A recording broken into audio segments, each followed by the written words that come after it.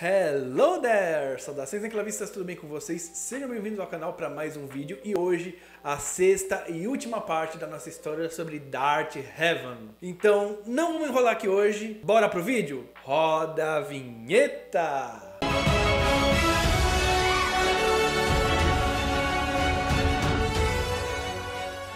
Após os eventos do vídeo anterior, 300 anos se passaram. 300 anos solitários e sombrios. Esse foi o preço pela cruzada de Heaven. VT8 não só o aprisionou, como também o torturou e o horrorizou por todo esse tempo. Porém, nada foi capaz de corromper Heaven. VT8 tinha o objetivo de acessar a mente de Heaven para descobrir seus segredos e os segredos dos Jedi, não só por conhecimento, mas para usá-los contra os Jedi em sua invasão à República, que ainda estava sendo planejada. E além disso tudo, ele tentava corromper Heaven para trazê-lo de volta de, mais uma vez para o lado sombrio. Nem mesmo os Mestres do Medo, uma ordem superpoderosa de Sith habilidosos, foram capazes de corromper Heaven. O fantasma da força de Mitra sempre esteve ao seu lado, dando forças, ajudando Heaven a cada vez mais superar toda essa provação. E nada abalava Heaven, pois ele se concentrava na força e nada mais. Durante o aprisionamento de Heaven, o seu nome não foi esquecido. Ele inspirou uma nova religião, a Ordem de Heaven, cujos discípulos eram chamados de Revanistas. Eles acreditavam e endeusavam a filosofia em que se baseava Heaven, ou seja, não um seguimento sistemático de um lado da força,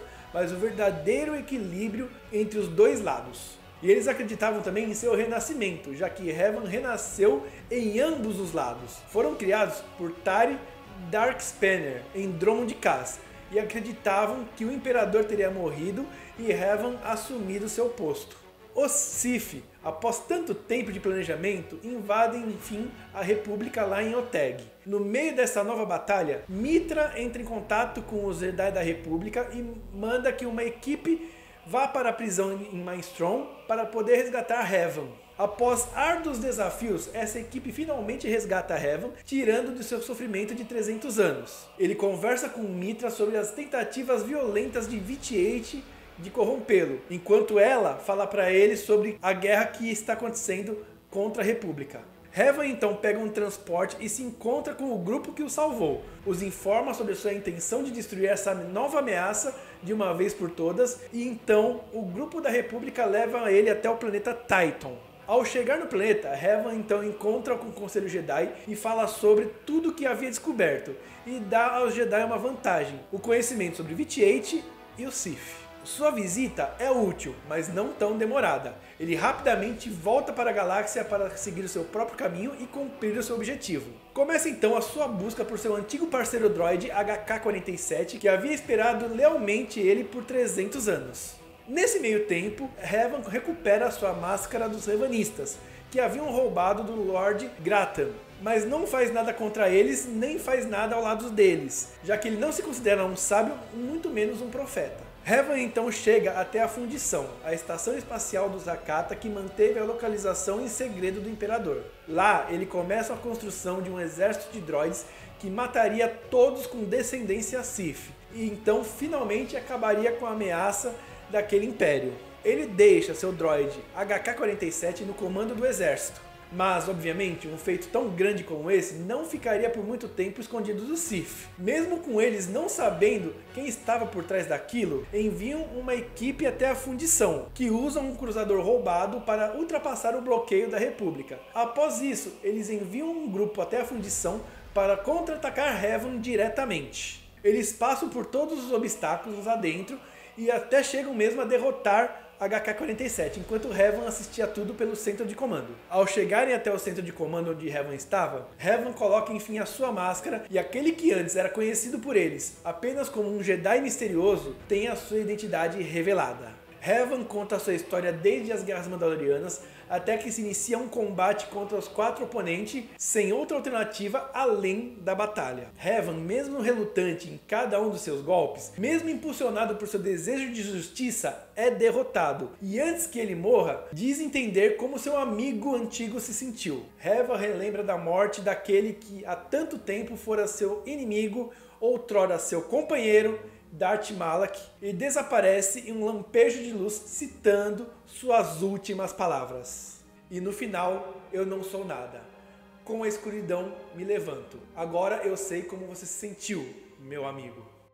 Ao morrer, Heaven tenta se unir com a força, então se divide em duas partes. A parte do lado da luz consegue se unir à força, mas aquela do lado sombrio, aquela que resistiu a Vitiate enquanto estava em cativeiro, continua viva, controlando o seu corpo. Essa parte então dá origem ao Heaven Reborn, o Heaven renascido, aquele que foi conhecido por ser louco e descontrolado, o lado sombrio de sua alma que contradizia a personalidade cuidadosa que aquele corpo um dia carregou. Heaven renascido distorce os ideais dos Revanistas e os usa para atingir um equilíbrio muito diferente do que Heaven almejava. Enquanto Heaven desejava o futuro da galáxia e da República, o Heaven renascido desejava destruir a República e o Sith de uma só vez. O Heaven renascido então descobre que Vitiate quase foi derrotado e que seu espírito estava se recuperando em Yavin 4, e dá início a uma ideia violenta e perigosa após assumir o controle dos Revanistas e distorcer seus ideais, criando então o Exército Infinito.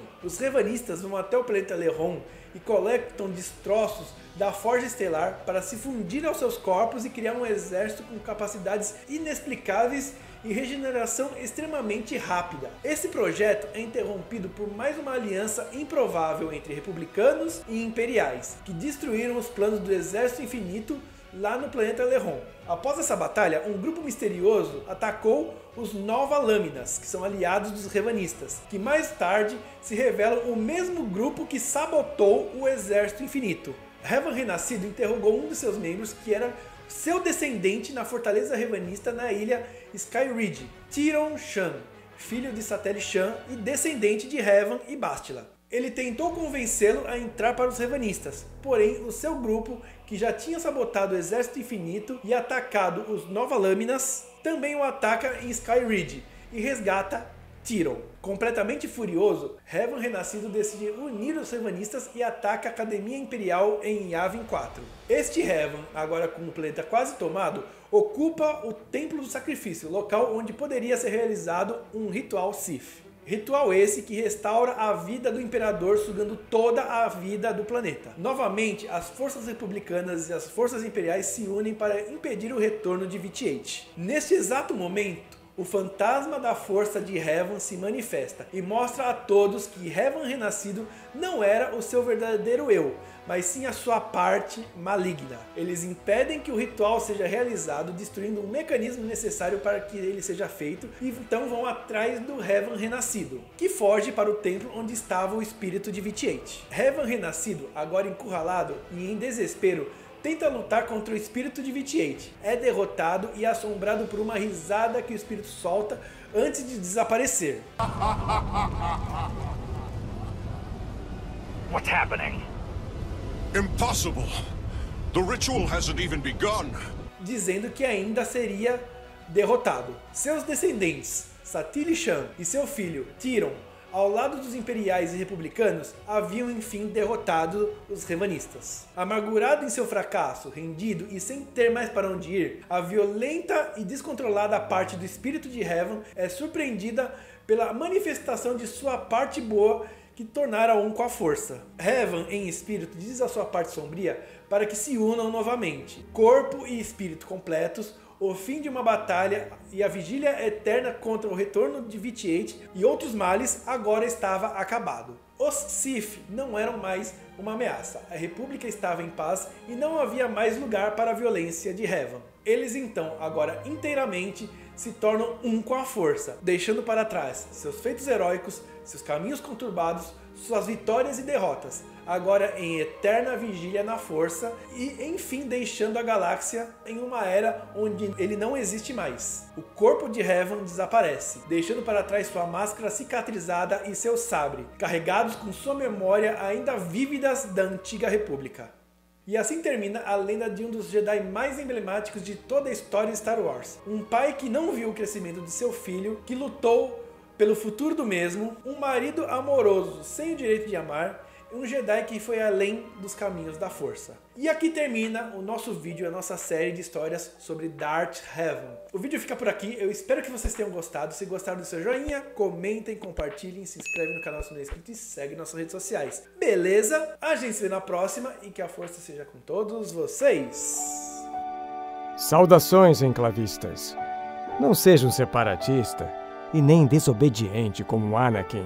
Se inscreva no canal e ative o sininho para receber o holocron de notificação. Que a força esteja com todos vocês. Sempre.